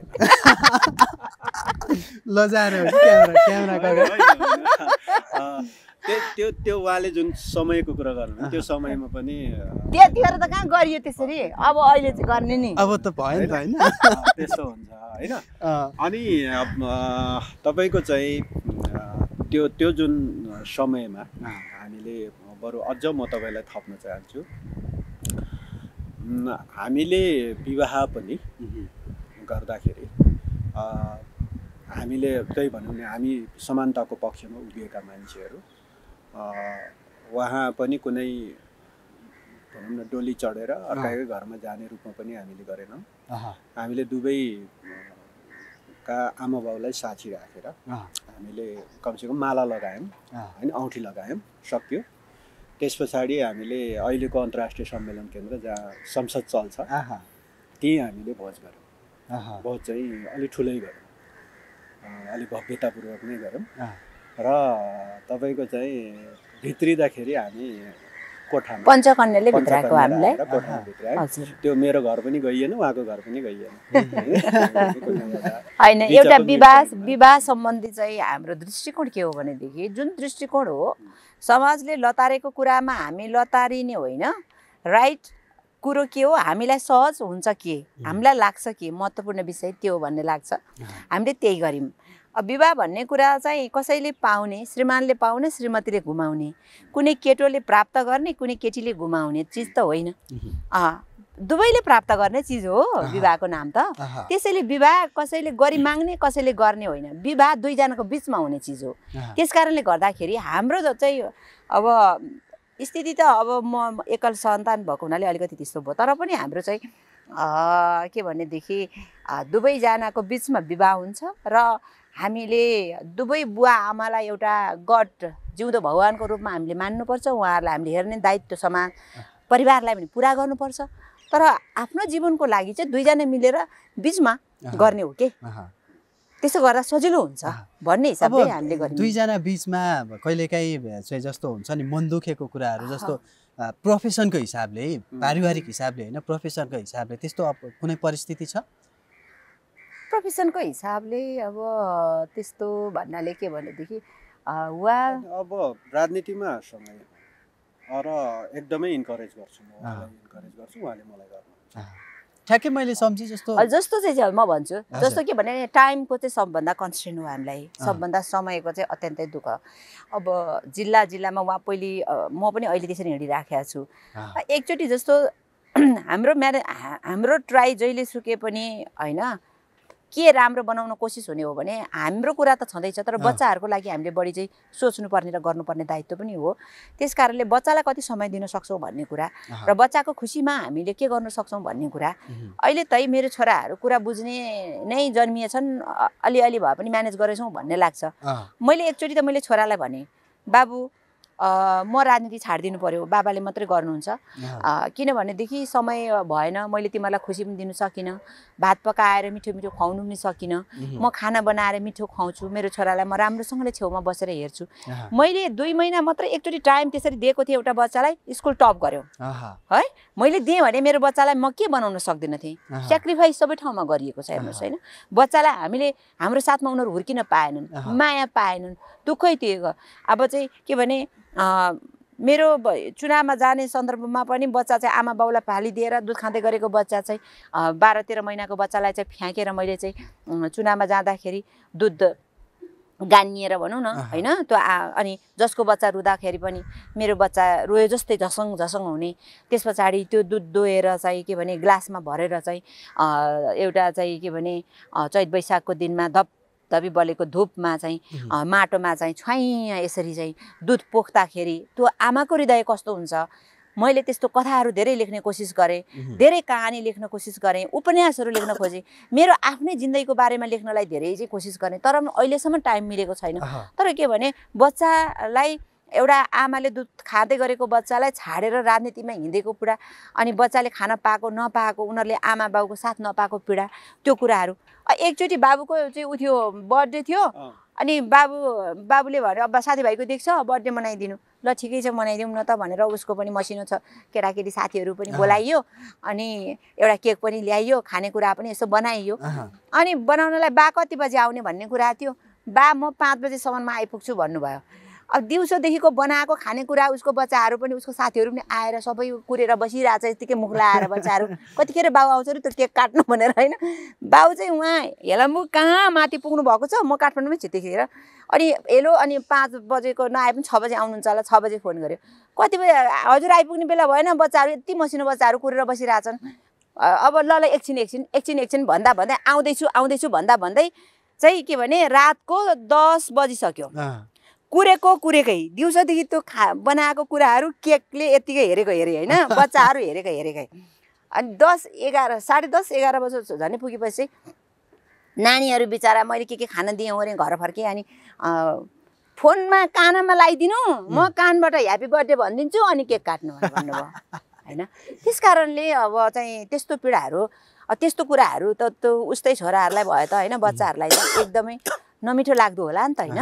अनि छोराहरूको भनाइ के छ भनेदेखि होइन our father is the great leader तपाईँ ठुलो लिडर बन्न सक्नुहुन्छ। तपाईँ देशको लागि पार्टीको लागि जनताको लागि गर्ने मान्छे हो तर हाम्रो लागि चाहिँ गर्ने मान्छे होइन है बाबा भनेछ गुनासो त्यो गुनासो छ। बाबाले गर्नुहुन्न। अँ देशको लागि गर्नुहुन्छ पार्टीको लागि गर्नुहुन्छ जनताको लागि गर्नुहुन्छ। त्यो विषयमा चाहिँ हजुर अलिक कम नै हो है बाबा। त्यतिसम्म चाहिँ भन्ने गर्नु यसको लागि चाहिँ त्यही आमा नै हो भन्ने चाहिँ अलिअलि छ। किनभने अब प्रसङ्ग अलिकति पारिवारिक भन्दा पहिर पर लगेँ मैले। तपाईँले भन्नुभयो जुन खालको कष्ट हिसाब पूर्ण हिसाबले पारिवारिक जीवनलाई एकातिर राखेर राजनीतिमा जानु परेको छ तपाईँ व्यक्ति स्वयंको समस्या उहाँको त भनिहाल्नुभयो होइन? एउटा सन्तानको एउटा जन्मदिन मनाउन पनि आफू उपस्थित हुन सकिँदैन फोनबाट ह्याप्पी बर्थडे भन्नुपर्छ भनिरहँदाखेरि। यो खालको सङ्घर्ष गरिराख्दाखेरि चाहिँ देशमा जुन खालको राजनीतिक वातावरण छ र यो राजनीति स्थायी हुन सकेको छैन स्थायी सरकार पाउन सकेको छैन होइन यस्तोमा चाहिँ कतिको चिन्तित हुनुहुन्छ तपाईँहरू? अहिलेकै परिस्थिति हेरौँ सडकमा ढुङ्गामुढा भइराखेको छ सदनमा ताली बज्ने एकातिर एकातिर नाराबाजी हुने यस्ता परिस्थितिले चाहिँ कतिको मन पोल्छ कि पोल्दैन तपाईँहरूलाई? म उहाँबाट सुरु गर्छु। अब हामीले चाहिँ जीवनको लक्ष्य के बनायौँ भन्दाखेरि मुलुकको समृद्धि नै। त्यसैले कतिपय इस्युहरू हामीले उठाउने पनि गरेका छौँ। के चिजबाट मुलुक चाहिँ एउटा जम्प गर्न सक्छ? क्रमबद्ध विकास त भइरहेकै छ। सामान्य अब होइन त्यो ग्रेजुअल डेभलपमेन्टको एउटा स्टेजमा त हामी छौँ। केही न केही त भइरहेको छ। अलिअलि बाटो बनिरहेको छ। अलिअलि होइन टेलिकमको विकास भएको छ होइन। अलिअलि तपाईँको चाहिँ खानेपानीको सुविधा पुगेकै होला। होइन। अब तर त्यतिले पुगेन। त्यो इकोनोमिक इकोनोमिक रूपमा राष्ट्रलाई बुम गरेर एउटा चाहिँ साँच्चै नेपाल समृद्ध नै छ नेपाल धनी छ र हरेक नेपाली चाहिँ शिर ठाडो गरेर बाँच्न सक्छौँ। त्यो कसरी हुनसक्छ भन्ने सन्दर्भमा मैले धेरै कुराहरू हामी दुवैजना बहस गर्छौँ। त्यसो गर्दा करिब लगभग निकै इस्युहरू हन्ड्रेड उहुँ, त्यस्तै इस्युहरू छन् जुन इस्युले त्यो इस्यु मध्येको एउटै इस्युले पनि मुलुक चाहिँ समृद्ध बन्न सक्छ भन्ने हामी चाहिँ दुईजना छलफल अहँ, होइन? र त्यही कारणले अलिकति राजनीतिमा लाग्नुको मकसद अब त्यो इस्युहरूबाट मुलुकलाई समृद्ध बनाउन सकिन्छ अगाडि बढाउन सकिन्छ। भन्ने हामी चाहिँ बिलिभ गर्छौँ। र त्यो- बिलिभनेस चाहिँ कहीँ न कहीँ गएर राजनीतिक परिवेश मुलुकको चाहिँ सबै हामी नेपालीहरूको मनोविज्ञान अब झगडा गर्ने जुन मनोविज्ञान छ हामीसँग एकले अर्कालाई पटक्कै तपाईँ कम्प्रोमाइज त गर्दै नगर्ने के? एकले अर्कालाई सिद्ध्याउने खालको जुन खालको चाहिँ हाम्रो चाहिँ परिवेश छ राजनीति पनि त्यही छ होइन? यस्तो देख्दाखेरि चाहिँ कहिलेकाहीँ अब साँच्चै मुलुक चाहिँ नबन्ने हो त भन्ने त लाग्छ। तर पनि हामी दुवैजना कस्तो मान्छे हो भने हामी एकदम अप्टिमिस्टिक। एकदम सकारात्मक बन्छ र हाम्रै जीवनकालमा बन्छ भन्ने बिलिभ पनि गर्छौँ अब आज म एउटा इस्यु एक्सचेन्ज गराउनु पर्यो हजुर। सधैँ चाहिँ शेरबहादुर तामाङबाट आउने कुरा गाँजालाई चाहिँ लिगलाइज गर्नुपर्छ। नेपालको सम्पत्ति चाहिँ यो हुनसक्छ भनेर उहाँले वकालत गरिरहने र तपाईँ चाहिँ नेपालको लोकल ब्रान्ड होइन? लोकल रक्सी छ। कोदोको रक्सी त्यसलाई ब्रान्ड गराउनुपर्छ भनेर। आज यो इस्यु एक्सचेन्ज गरौँ। तपाईँहरूको कतिको घरमा कुरा हुँदो रहेछ भनेर होइन? आज। तपाईँले चाहिँ उहाँले चाहिँ लोकल ब्रान्डको कुरा गर्नु पऱ्यो तपाईँहरूले चाहिँ गाँजाको कुरा गर्नु पऱ्यो होइन। तपाईँबाट सुरु गरेँ मैले। अब गाँजाको इस्यु कस्तो भनेदेखि मैले त ब्यान्ड भर्सेस ब्रान्ड भनेर संसदमै बोलेँ र त्यो इस्यु नै अगाडि बढाइसकेर कानुन नै अहिले एउटा मात्रै स्टार्टिङ गरेको हो। लोकल कुदोको रक्सीलाई ब्रान्डिङ गर्ने र विदेशमा बेचेर पैसा ल्याएर नेपालीहरूको हातमा लाउने। अब के भनेदेखि गाँजा ब्यान्ड भर्सेस ब्रान्ड भनेको चाहिँ ब्यान्ड हामीले के केमा गऱ्यौँ? हाम्रो आफ्नो सम्पत्ति हाम्रो आफ्नो उत्पादनको कुरा। लोकल कोदोको रक्सी मात्र होइन। गाँजा रातो चन्दन देखि लगायतका विभिन्न जडीबुटीहरू अब यार्चा गुम्बालाई पनि चाहिँ त्यो हिसाबमा अहिले के भने यार्चा गुम्बाको स्वाद कस्तो हुन्छ तपाईँ र मैले चाहेको छैन होला। दुनियाँले चाखिरहेका छन् कति सस्तो मूल्यमा चाहेका छन्। उम्. जुन यार्चा गुम्बा भन्ने चाहिँ के भने नेपालमा मात्रै फल्छ. त्यस्तो यो भूमि हो यो ऋषिहरूको चाहिँ वरदानको यो चाहिँ आशीर्वाद पाएको चाहिँ यो अमृतमय यो भूमि हो। हेर्नुहोस् यो हिमालको देश हो यो गौतम बुद्धको देश हो। यो चाहिँ के भनेदेखि एउटा चाहिँ एउटा शान्तिको चाहिँ प्रतीकको रूपमा रहेको स्वर्गको टुकरी हो। नेपाल भन्ने कुरा यसरी हो। हो सत्य कुरा। यो कुरालाई मान्छेहरूले संसारले देखेका छन् चिनेका छन्। तर चाहिँ के भनेदेखि बरु हामीले चिन्न सकेनौँ र अरूको रणभुल्लमा धेरै षड्यन्त्रमा हामी पऱ्यौँ कि भन्ने पनि मलाई लाग्छ। त्यसले गर्दाखेरि हाम्रो आफ्नो यहाँको सम्पत्तिहरू यहाँको सम्प सम्पत्ति भनेको हाम्रो के हो त? भन्नुहुन्छ भने हाम्रो हिमाल हो हाम्रो हावा त्यहाँबाट बहने पानी हो त्यहाँबाट बहने हावा हो अनि माटो हो र माटो र त्यो पानी र त्यो हावाले चाहिँ के भनेदेखि स्पर्श गरेको र सिन्चित गरेको भूमिमा उम्रिने चिजहरू। यार्चा गुम्बा जस्ता चिजहरू हेर्नुहोस् होइन? विश्वमा कहिले पनि हुँदैन। यो महत्त्वपूर्ण कुरा आज मलाई सोध्नुमा धन्यवाद दिन चाहन्छु। म त्यहीको अभियन्ता हो।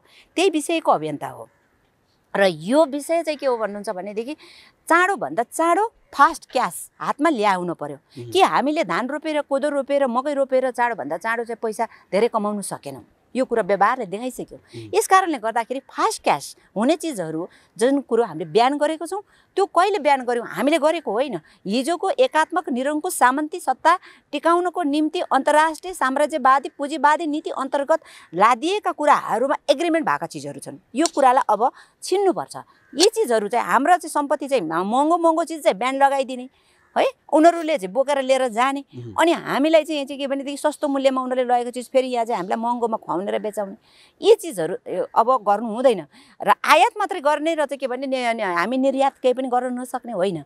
हामीले निर्यात आयात प्रतिस्थापन गर्नको लागि निर्यात बढाउन सक्ने चाहिँ हाम्रो प्रोडक्सन हाम्रो उत्पादन के के हो? यो कुरा बढाउन सक्यो भनेदेखि अनि आर्थिक मेरुदण्डको आधार तयार हुन्छ समाजवादको आधार तयार हुन्छ यो कुरालाई ध्यान दिनुपर्छ।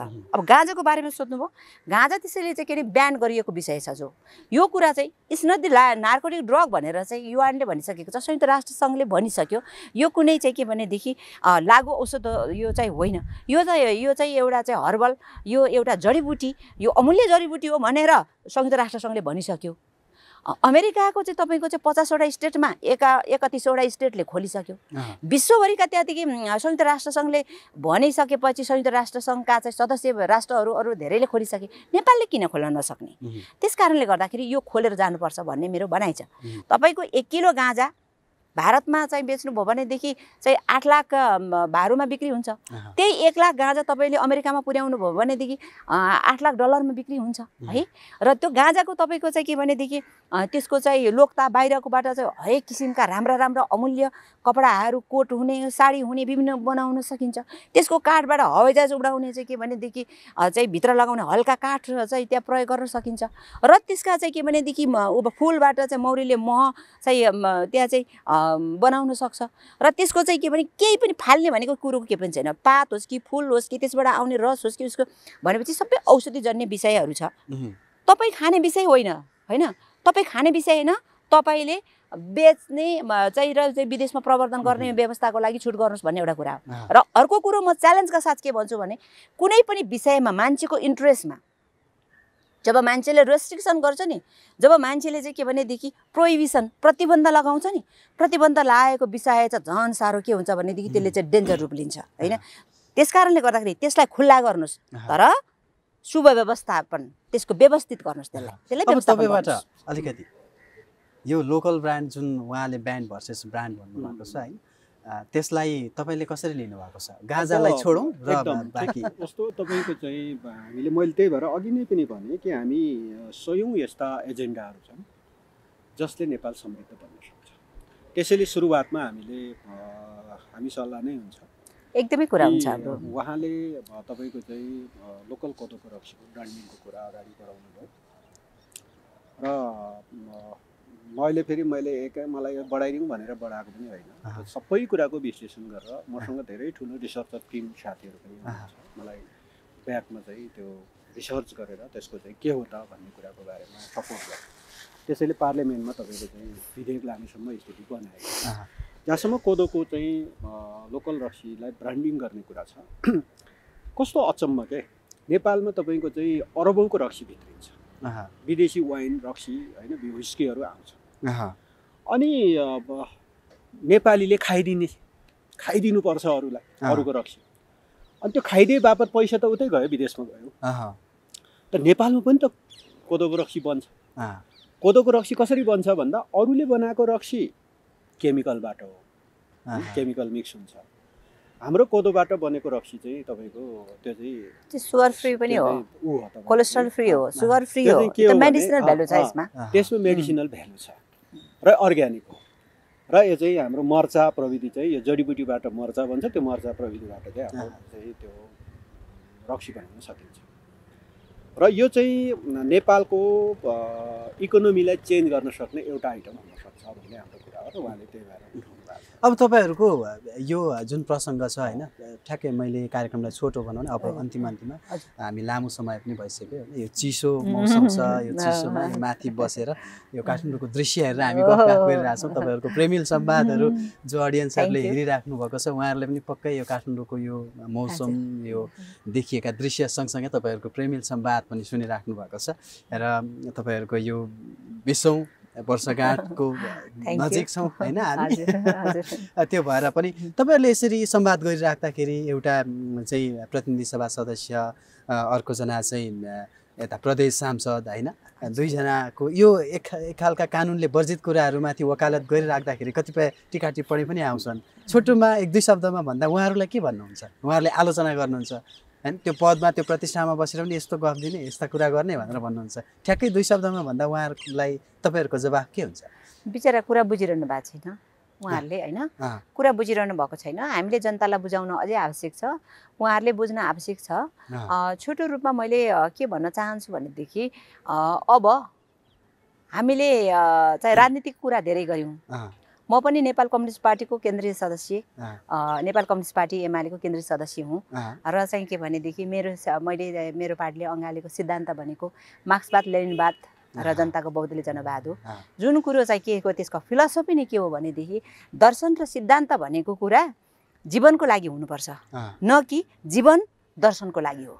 त्यस कारणले गर्दाखेरि यी सम्पूर्ण चिजहरू भनेको मानव समुदायको हाम्रो इतिहासको हाम्रो चाहिँ प्रकृतिको चाहिँ सबभन्दा सुन्दर पक्ष के हो? त्यो कुरो गर्ने हो।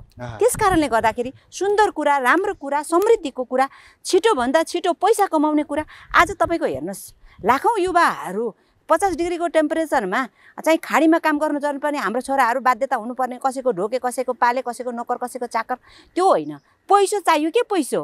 त्यस कारणले चाँडोभन्दा चाँडो सम्पत्ति पैसा कसरी कमिन्छ के के गर्दा कमिन्छ के गर्ने हो?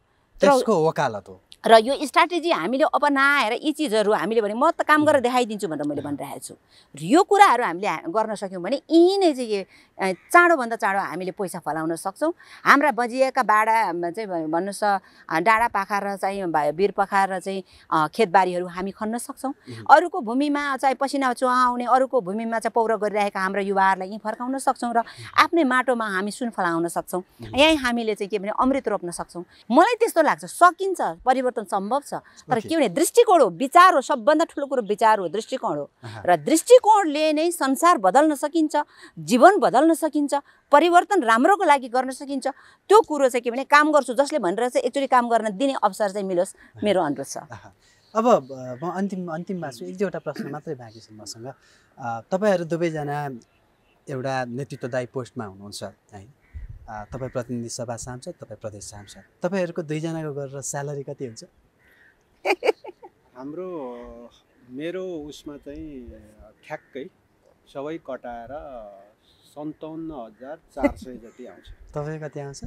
खै है त्यस्तै चालिस पैँतालिस हजार। अब हाम्रो त पार्टीले काट्छ कसले काट्छ यस्तै आउँछ। अ, त्यस्तै नै हो। एक लाख जति एभरेज एभरेजमै। एक लाख हुन्छ। जति। आउँछ।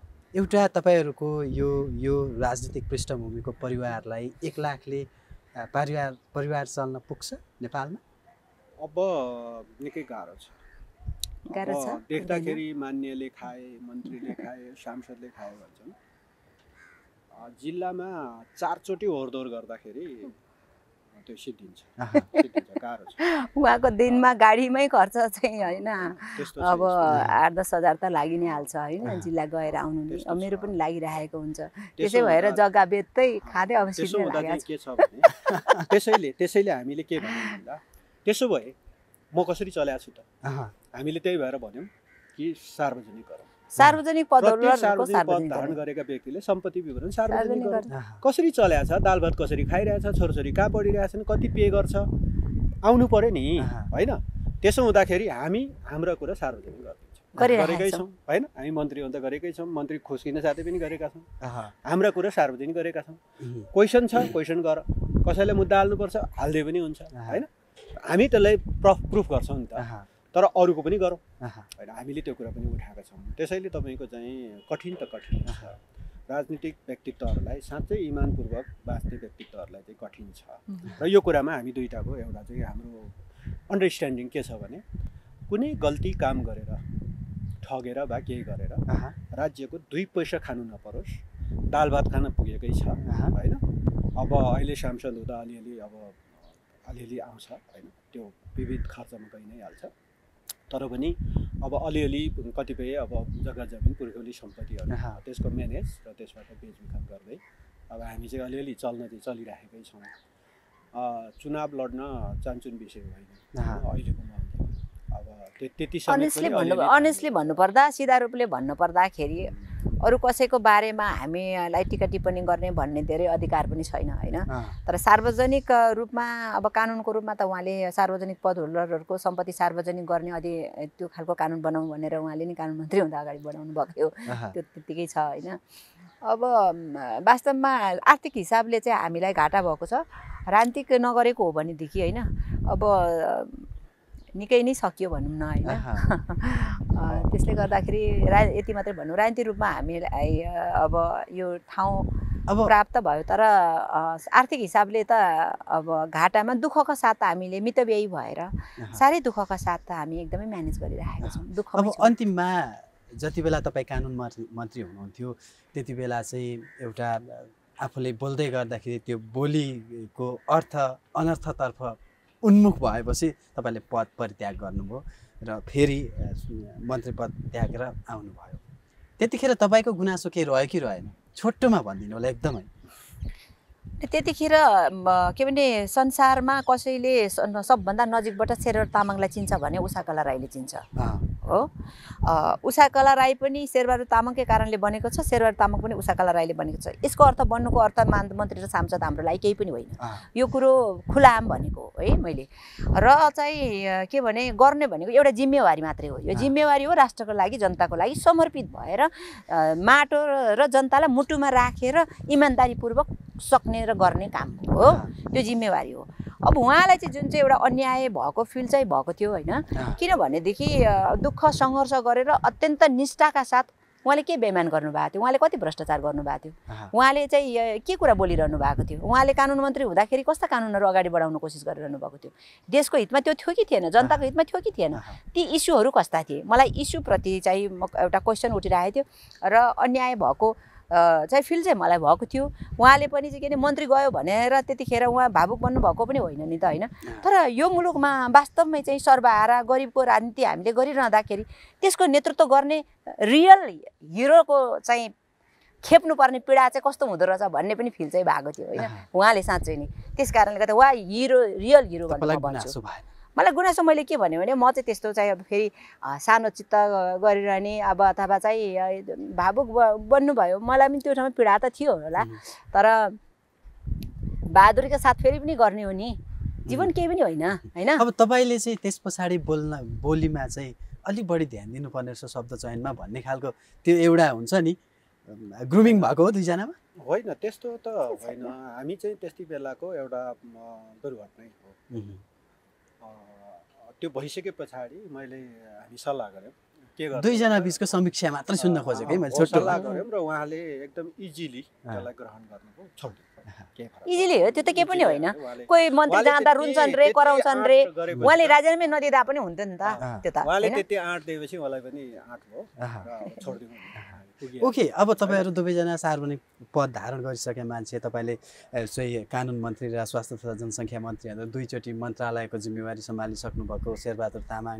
त्यस पछाडि तपाईँ प्रदेश एकमा गएर मन्त्री सामाजिक तथा विकास सामाजिक विकास। सामाजिक विकास मन्त्रीको मन्त्रालय सम्हालिसक्नु भएको मान्छे तपाईँहरू दुवैजना चाहिँ राज्यकै एकदमै जिम्मेवार व्यक्तिहरू दुवैजनाले चाहिँ एउटा जनताले मत दिएर होइन? देश बनाउनका लागि कानुन बनाउनका लागि पठाएका व्यक्तिहरू अब तपाईँहरूमा पक्कै पनि देश बनाउने जिम्मेवारी छ। त्यो नैतिक हिसाबले पनि तपाईँहरू जिम्मेवार हुनुहुन्छ भन्ने हाम्रो अपेक्षा हो।